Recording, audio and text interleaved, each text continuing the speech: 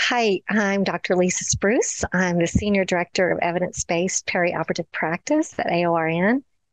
And one of the things that I wish I'd known as a new nurse in the OR is just how important positioning our patients is. It can cause severe injury to patients, it can cause injury to personnel.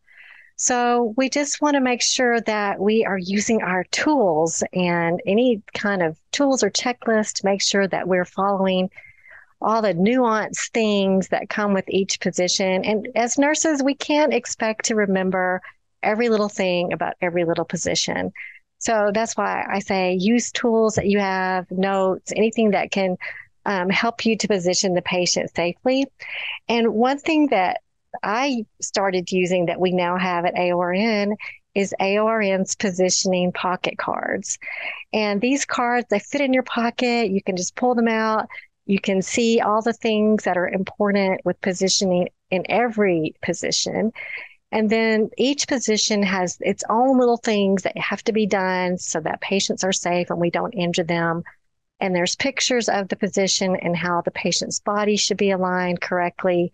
So these are great tools to use so that we always are positioning our patients safely. We're protecting ourselves with every patient every single time.